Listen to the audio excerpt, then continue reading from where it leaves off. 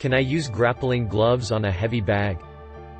A common misconception is that you can just use any MMA gloves on the heavy bags, you cannot. Gloves designed specifically for heavy bag training are thickly padded and usually offer great hand and knuckle protection along with wrist support.